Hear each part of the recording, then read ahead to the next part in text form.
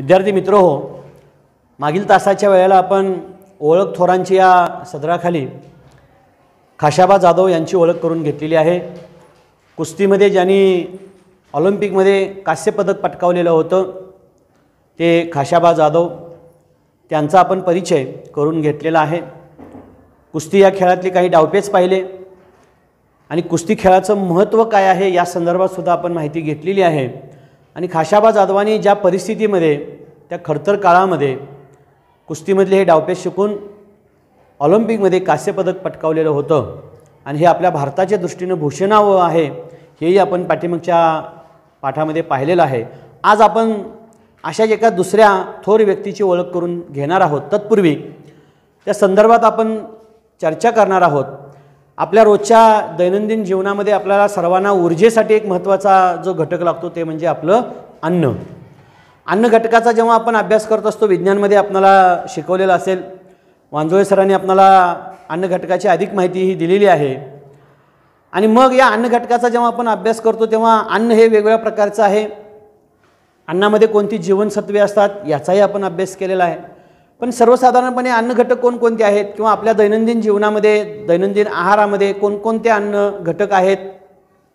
तर तुम्ही सांगू शकता भाकरी आहे चपाती आहे भाजी आहेत पालेभाज्या आहेत डाळी आहेत आणि त्याचबरोबर सर्वांना जेवणामध्ये जो घटक लागतो तो म्हणजे भात.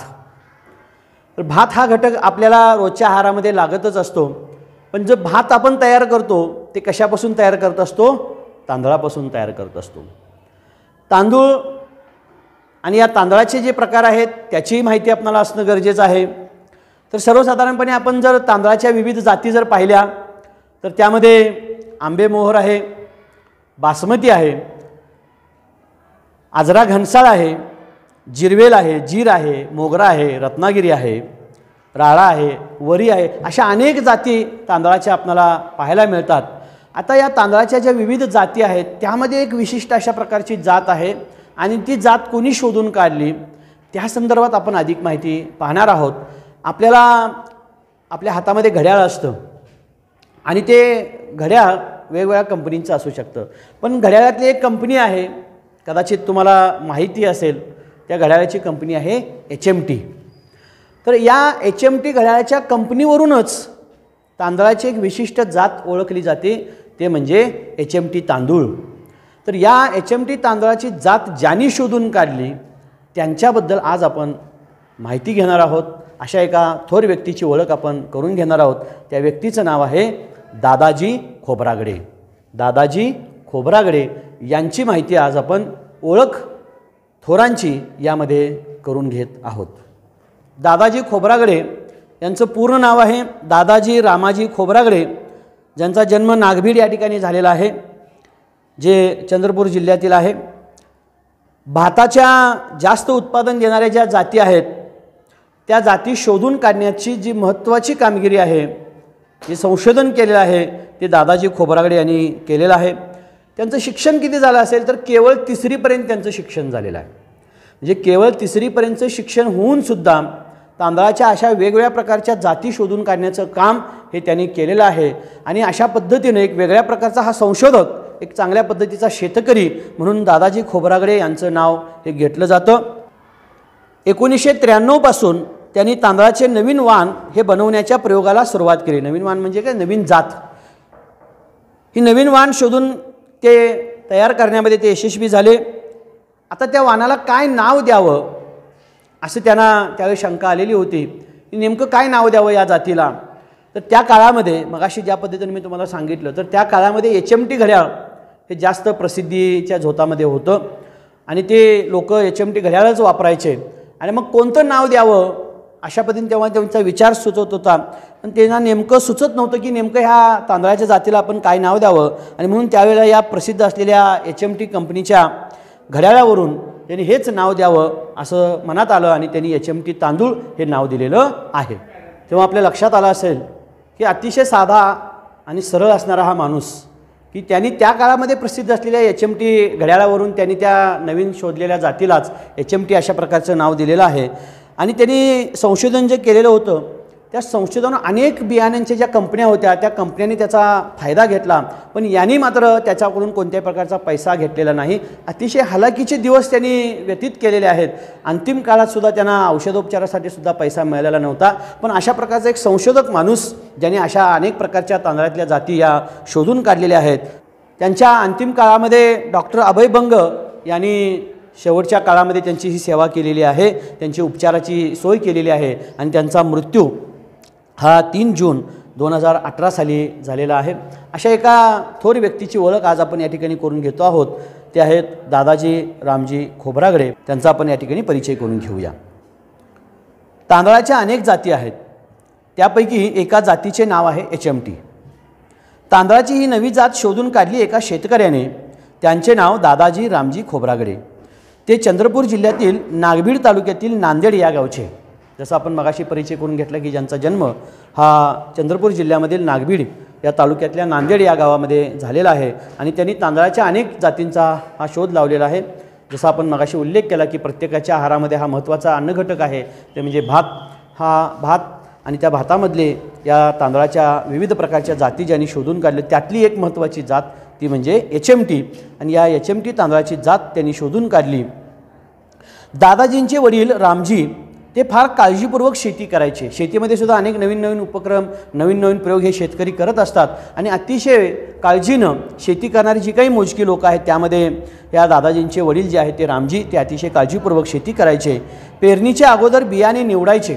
आपल्या शेतामधलं पीक चांगल्या पद्धतीचं यावं जोमानं यावं अधिक उत्पादन त्यामधून यावं त्यासाठी बी किंवा जे बियाणं आहे ते अतिशय चांगल्या दर्जाचं आणि उच्च दर्जाचं हे निवडावं लागतं. तशाच पद्धतीनं पेरणीच्या अगोदर जे बियाणे निवडायचं ते बियाणे ते अतिशय काळजीपूर्वक घ्यायचे खराब दाणे बाजूला काढायचे. त्या बियाण्यामधले काही खराब दाणे जे असायचे ते बाजूला करायचे जेणेकरून आपलं शेतीतलं उत्पादन हे चांगल्या पद्धतीचं असावं. या उद्देशानं ते खराब दाणे बाजूला काढायचे. दादाजींनी वडिलांना असे का करता? म्हणून विचारलेले होते. कारण हे लहान होते त्यामुळं ते आपल्या वडिलांना विचारायचे की तुम्ही असं का करता? म्हणजे खराब दाणे ते बाजूला करायचे चांगले दाणे बाजूला घेऊन ते शेतामध्ये पेरायचं. अशा वेळेला हे दादाजी त्यांना विचारायचे की तुम्ही असे का करता? तेव्हा वडील म्हणाले चांगले बी पेरले तर चांगली उगवण होते. दादाजींना तेव्हापासून बियाणे निवडण्याची सवय लागली तशीच निरीक्षणाची सवय लागली. कोणत्याही गोष्टीचं आपण निरीक्षण हे जर चांगल्या पद्धतीनं केलो तर त्यातूनसुद्धा आपला हा फायदा होत असतो. तशा पद्धतीनं दादाजीने आपल्या वडिलांचं निरीक्षण केलेलं होतं. वडील काय करायचे की जे काही दाणे बियाणे आणलेले असायचे त्यामधून चांगले बियाणे हे बाजूला करायचे जेणेकरून ते पेरल्यानंतर त्यामधून उगवण चांगले व्हावे पीक चांगलं यावं आणि त्यातून जे उत्पादन आहे ते उत्पादनसुद्धा चांगल्या पद्धतीचं येणार आहे अशा उद्देशानं ते चांगले बियाणे निवडायचं आणि त्याचं निरीक्षण हे दादाजी करायचे की अशा पद्धतीने तुम्ही का करता हे आपल्याला ते वडिलांना विचारायचे त्यावेळी वडील म्हणायचे की आपण जर चांगल्या पद्धतीचे बियाणे निवडले तर त्यातून उगवण चांगले होते पीक चांगलं येतं आणि म्हणून आपलं उत्पादनसुद्धा चांगलं होऊ शकते. म्हणजे एखादी आपली चांगली गोष्ट ही आपल्यामध्ये असेल तर त्यातून चांगलं घडत असतं. ही चांगली गोष्ट होती की निरीक्षण चांगलं. आपण सुद्धा वर्गामध्ये बसल्यानंतर शिक्षकांच्या शिकवण्याकडे आपलं निरीक्षण चांगलं असलं पाहिजे. ज दैनंदिन जीवनामध्ये जगत असताना सुद्धा चांगल्या पद्धतीने निरीक्षण आम्हाला करता आलं पाहिजे. निरीक्षणामधून तुमचं निष्कर्ष चांगले निघत असतात आणि आपले चांगले निष्कर्ष हे आपल्याला चांगल्या प्रकारे चांगल्या कृती या घडवून आणत असतात. तशा पद्धतीनं दादाजी खोबरागडे यांना एक चांगली सवय होती की त्यांचं निरीक्षण हे चांगलं होतं. पाहूया पुढं. ते मोठे झाले आणि शेती करू लागले. कारण मुळातच शेती हा त्यांचा घरगुती व्यवसाय असल्यामुळं तेच ते मोठे झाल्यानंतर शेती करू लागले. एकदा शेतात फिरत असताना त्यांच्या लक्षात आले की भाताच्या काही ओंब्या जास्त गडद पिवळ्या रंगाच्या आहेत. इथं चित्रामध्ये तुम्हाला दिसत असेल. हे भाताचं पीक कोणत्या पद्धतीचं असतं? हे ज्या ओंब्या आहेत म्हणजे ज्या ठिकाणी दाणे तांदळाचे दाणे लागत असतात ते जो तुरा आहे त्यालाच आपण ओंब्या असं म्हणणार आहोत. या ओंब्या जास्त गडद पिवळ्या रंगाच्या आहेत. त्यांनी शेतामध्ये फिरत असताना भाताच्या काही ओंब्या त्या धा भाताचं जे पीक आहे त्यामधल्या काही ओंब्या ज्या आहेत त्या जास्त गडद पिवळ्या रंगाच्या आहेत त्यांच्या लक्षात आलं. त्यांनी त्याचं निरीक्षण केलेलं होतं. कारण इतरांच्यापेक्षा या ठिकाणी काही ओंब्या ह्या जास्त गडद आणि पिवळ्या रंगाच्या आहेत. त्यांनी नेमक्या त्या हेरून ठेवल्या. त्यांच्या लक्षात आलं की हे काहीतरी वेगळं आहे. आणि ते हेरून ठेवलं म्हणजे ते पाहून ठेवलं. व त्या परिपक्व झाल्यानंतर बाजूला काढून एका वेगळ्या पिशवीत ठेवल्या. जेव्हा पूर्ण त्याची वाढ होत असते तशा पद्धतीने त्याची पूर्ण वाढ झाली. ते परिपक्व झाल्यानंतर त्यांनी जे निरीक्षण केलेल्या ज्या वेगळ्या पद्धतीच्या ज्या जास्त गडद पिवळ्या रंगाच्या ओंब्या होत्या त्यांनी बाजूला केलं आणि एका पिशवीत भरून ठेवल्या. दुसऱ्या वर्षी त्यांनी ते बियाणे शेताच्या मधोमध पेरले. पहा. त्यांनी काय केलं? पहिल्यांदा निरीक्षण केलं. निरीक्षणातून त्यांच्या लक्षात आलं की हे गडद रंगाचे आहेत आणि म्हणून ते बाजूला केल्यानंतर त्यांनी पिशवीत भरून ठेवलं आणि दुसऱ्या वर्षी त्यांनी ते शेताच्या मधोमध पेरलेले आहेत. त्यांच्या लक्षात आले की या बियापासून आलेल्या ओंब्यांना इतरापेक्षा अधिक दाणे आहेत. म्हणजे शेतामध्ये आपण फिरत असतो पण शेतातल्या पिकांचं निरीक्षण आपण करत नाही. पण त्यांनी निरीक्षण केलं निरीक्षणावरून त्यांच्या लक्षात आलं की काही ओंब्या या जास्त गडद पिवळ्या रंगाच्या आहेत आणि त्यांनी नेमकं ते हेरलेलं होतं. त्यांनी ते वेगळं केलं पिशवीमध्ये भरून ठेवलं आणि ते पुढच्या वर्षी शेताच्या मधोमध पेरल्यानंतर हे त्यांच्या लक्षात आलं की ह्या दाण्यांना मात्र जास्त दाणे आलेले आहेत त्या ओंब्यांना जास्त दाणे आलेले आहेत. त्याने असे अनेक वर्ष केले आणि त्यांची खात्री पटली की हे बियाणे अधिक उत्पादन देऊ शकतात. हे त्यांचं निरीक्षण होतं. हे त्यांचं संशोधन होतं. कारण कोणतंही संशोधन करत असताना त्याच्यावर वेगवेगळ्या प्रकारचे प्रयोग करावे लागत असतात. जसं आत्ता सध्या कोरोनाची ही साथ आहे आणि या कोरोनाच्या साथीवरची जे औषध जे लस तयार झाली ती लस तयार होत असताना त्याच्यावर अनेक प्रकारचे संशोधनं झाली. अनेकांच्यावरती त्याचे प्रयोग झाले. त्या प्रयोगावरून त्याचे काही साईड इफेक्ट्स आहेत का? त्याचे काही दुष्परिणाम आहेत का? हे पाहिल्यानंतर अंतिम टप्प्यामध्ये ही लस आता विकसित होते आहे. अशा पद्धतीनं कोणतंही संशोधन करत असताना त्याचे फायदे काय आहेत? त्याचे तोटे काय आहेत? त्याची निरीक्षणं नोंदवावी लागत असतात. तशा पद्धतीनं दादाजी खोबरागडे यांनी त्यांनी जे बाजूला काढून ठेवलेले जे दाणे होते ते दाणे वेगळे करून ठेवले. ते शेताच्या मधोमध पेरले.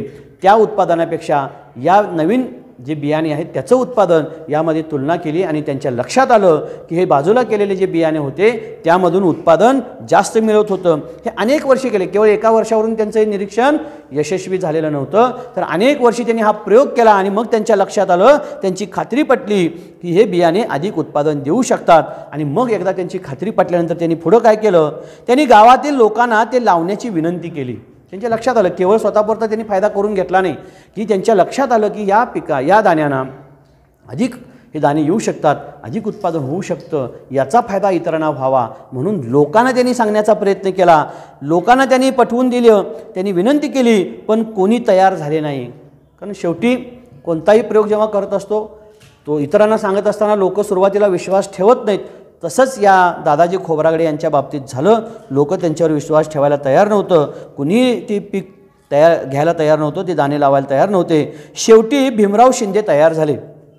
एक व्यक्ती त्या ठिकाणी तयार झाली भीमराव शिंदे. आणि त्यांनी चार एकरावर पहिल्यांदा ते बियाणे वापरले. चार एकर शेतामध्ये त्यांनी ते बियाणं वापरलं. आणि आश्चर्य अवघे की अवघ्या चार एकरामध्ये नव्वद क्विंटल तांदळाचे उत्पादन झाले. आणि ते सिद्ध करून दाखवलं. क्विंटल. एका क्विंटलमध्ये किती किलो असतात? तर शंभर किलो असतात. तसं नव्वद क्विंटल तांदूळ त्या ठिकाणी उत्पादित झालं त्या चार एकरमध्ये.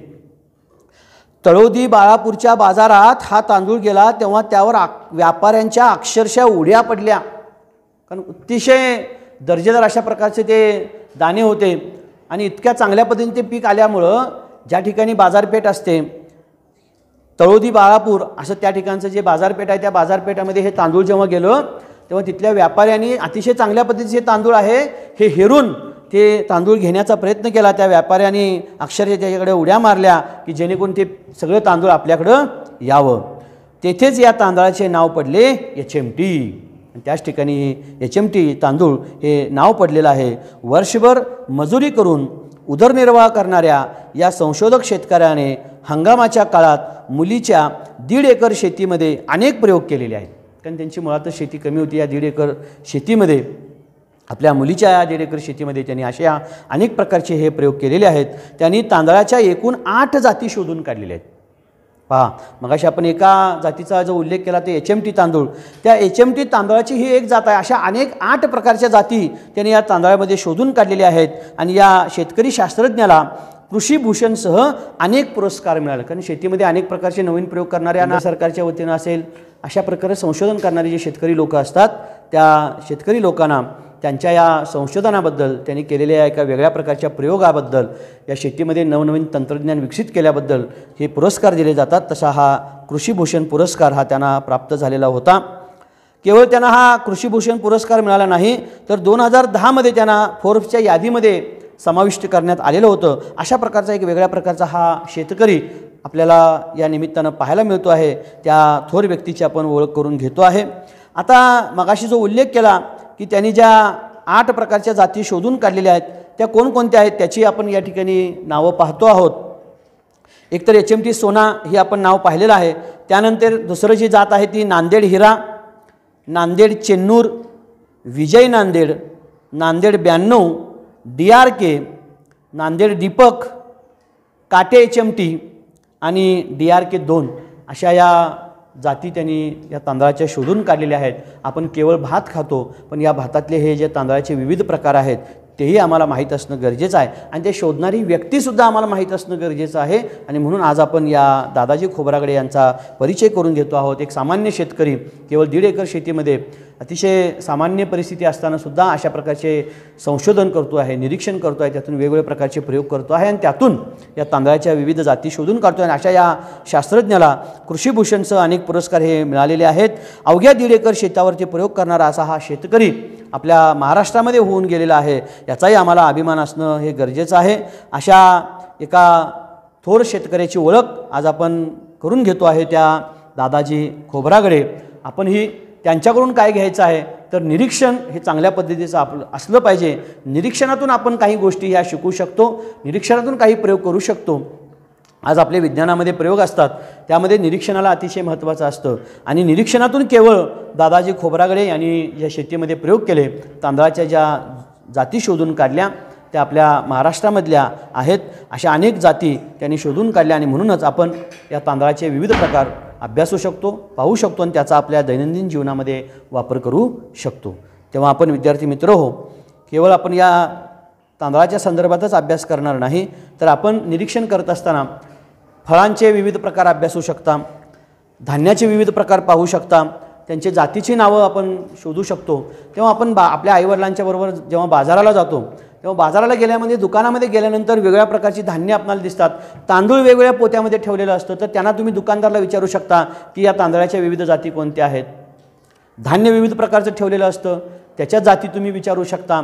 तर आपलं निरीक्षण हे असं असणं गरजेचं आहे. केवळ हा पाठ आपण अभ्यासायचा नाही. या व्यक्तीची आपण ओळख करून घ्यायचं नाही आहे तर त्यांनी ज्या पद्धतीनं संशोधन केलं त्यांच्यामध्ये कोणती वैशिष्ट्ये होती? ती वैशिष्ट्ये आमच्यामध्ये असणं हे गरजेचं आहे. तर आज आपण इथून पुढच्या काळामध्ये जेव्हा भाजीपाला घ्यायला जाल धान्य घ्यायला जाल किंवा डाळी घ्यायला जाल त्याच्या जाती काय आहेत? केवळ घ्यायचं नाही आहे. तर त्याच्या मुळाशी जाण्याचा आपण निश्चितपणानं प्रयत्न करणार आहात. त्याची आपण यादी हे करूया. म्हणजे गहू असेल तर गव्हाचे कोणकोणते प्रकार आहेत?